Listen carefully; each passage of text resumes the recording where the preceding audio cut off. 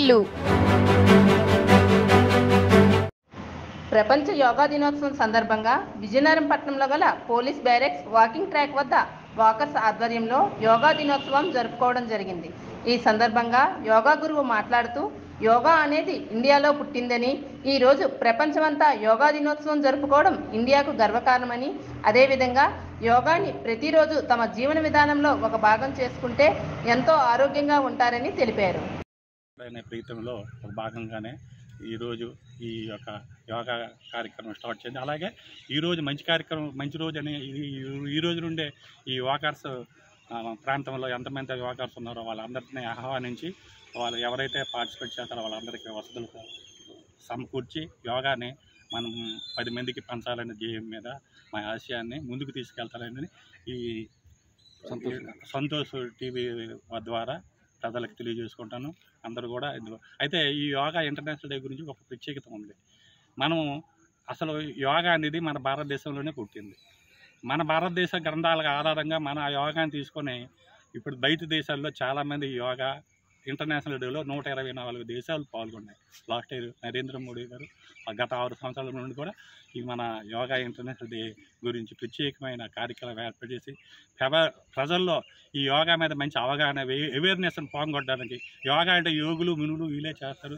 యోగా మనం చేయమని అలాంటి సంపాదించే ఈ యొక్క పవిత్రమైన యోగాని పై దేశం వాళ్ళ ఆదర్శం తీసుకుంటుంటే మనం మళ్ళీ ఇప్పుడు అక్కడ నుండి రిటర్న్ ఆల్టేషన్ మళ్ళీ మళ్ళీ ఇండియాలో కూడా మళ్ళీ స్టార్ట్ అయ్యారు. అంటే మనం తీసుకెళ్ళిన విద్య వాళ్ళు గ్రహించి అటుండి మళ్ళీ రిటర్న్ వస్తుంది. అంటే ఈ యో- యోగా ఇంటర్నేషనల్ డే వల్ల అంత ప్రత్యేకత ఉంది కాబట్టి ప్రతి ఒక్కరు కూడా ఈ రోజు నుండి మేమైతే ఏ ఆశయానికి అయితే పాటుపడదాం అనుకున్నారో ఆ ఆశయానికి అందరూ కూడా సహకరిస్తారని అలాగే మిత్రులు అలాగే మీడియా మిత్రులు కూడా ఈ సందర్భంగా హృదయపూర్వక నమస్కారాలు తెలియజేసుకుంటూ సెలవు తీసుకుంటూ వయసులో ఈ యోగా అనేది నేర్చుకున్నాను కాకినాడలో.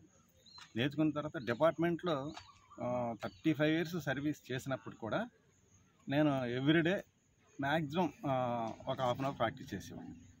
అందువల్ల ఇప్పటికీ కూడా ఈ ఆసనాలు నేను చేయగలుగుతాను తర్వాత నా ఆరోగ్యాన్ని కూడా నేను స్థిరంగా ఉంచుకోగలుగుతాను మీ వయసు ఎంత సార్ ఇప్పుడు? అరవై ఎనిమిది సంవత్సరాలు. ఓకే అరవై ఎనిమిది సంవత్సరాలు యోగా కంప్లీట్ చేస్తున్నారు. ఫిఫ్ నా ఫిఫ్టీన్ ఇయర్స్ నుంచి ఈ రోజు వరకు కూడా నేను చేస్తూనే ఉన్నాను. అయితే నేను డిపార్ట్మెంట్లో రిటైర్ అయిపోయిన తర్వాత ఈ ఆరోగ్యం అనేది అందరికీ అవసరం కాబట్టి ఎవరైతే ఉత్సాహపరులు ఉంటారో వాళ్ళని అంటే యోగా మీద కొంచెం అవగాహన ఉండి చేద్దామనే ఒక ఒక ఇంట్రెస్ట్ శ్రద్ధ కలిగిన కొంతమందిని నేను ఫైండ్ అవుట్ చేసి మా ఇంటి దగ్గరే అంటే ఉచితంగా రూఫ్ టాప్ మీద ఒక పది పదిహేను మంది తర్వాత ఒక ట్వంటీ ఫైవ్ థర్టీ మెంబర్స్ వరకు ఒక త్రీ ఫోర్ బ్యాచెస్ నేను త్రీ ఫోర్ మంత్స్ ఒక్కో బ్యాచ్కి టోటల్గా వాళ్ళు చేయగలిగినంత మ్యాక్సిమం అనమాట ట్రైనింగ్ ఇచ్చాను. వాళ్ళు ఇప్పుడు కొంత ఓన్గా చేసుకుంటున్నారు. అదే కాకుండా ఇప్పటికి కూడా ప్రతిరోజు నేను యోగా ప్రాక్టీస్ చేస్తున్నాను. వాళ్ళు కూడా వీలైనంత మంది కూడా వస్తుంటారు. కొంతమంది ఒక్కొక్క రోజు రాకపోయినప్పుడు కూడా నెక్స్ట్ డే వచ్చి పాల్గొనడం జరుగుతుంది. వాళ్ళు కూడా చాలా ఇంట్రెస్ట్గా చేయగలుగుతున్నారు.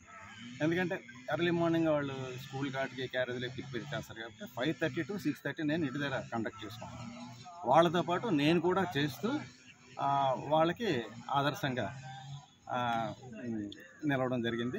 యోగా అనేది సర్వరోగ నివారణ అని మా మాటలో అర్థం ఉంది. అంటే ఈ సర్వరోగ నివారణ అనేది ఏ విధంగా జరుగుతుంది అదే ఇప్పుడు యోగా అనేది సర్వరోగ నివారణ. అయినప్పటికీ యోగా అనేదంతా ఒక ఒక సబ్జెక్ట్ అయినప్పుడు కూడా అందులో చాలా విభాగాలు ఉన్నాయి ఆ ఒక్కొక్క విభాగాన్ని కూడా మనం క్షుణ్ణంగా నేర్చుకోగలిగి ఫుల్ ఫ్లెడ్జ్డ్గా ప్రాక్టీస్ ఎప్పుడైతే చేస్తామో మనం మానసికంగా శారీరకంగా ఆరోగ్యంగా ఉంటాం.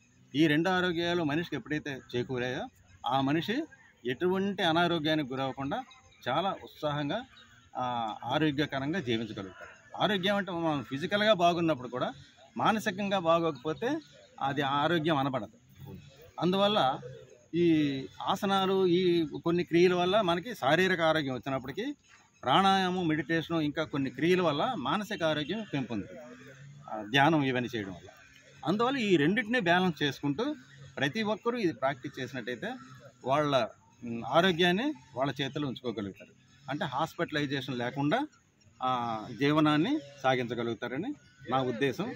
అలాంటి సదుద్దేశంతో ఉత్సాహం ఉన్న వాళ్ళని నేను నా దగ్గరికి ఉచితంగా నేను నేర్పగలుగుతున్నాను. ప్ర- ప్రజలకు ఒక మాట చెప్పండి. ఏంటంటే ఈరోజు యోగా చేయడం వల్ల ప్రతి ఒక్కరు ఆరోగ్యంతో పాటు మానసిక ఆరోగ్యాన్ని కూడా కలిగి ఉంటారని చెప్పారు. ప్రతి ఒక్కరు దీనిలో పాల్గొనడానికి ముందుకు రావాలని మీరు ఒక పిలుపునివ్వండి.